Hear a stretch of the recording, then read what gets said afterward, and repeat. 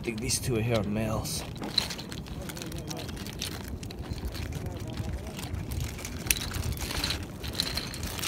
Yep, told ya.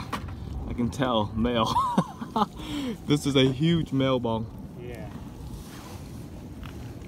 Want to get this one out.